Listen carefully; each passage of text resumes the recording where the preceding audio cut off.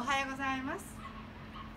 九州の真ん中よりちょっと上の日田温泉喜山亭ホテルおかみでございます。昨日は倉庫のお掃除をしていっぱい宝物を見つけました。いろんなところにちょこちょこ楽しいものが出てまいりました。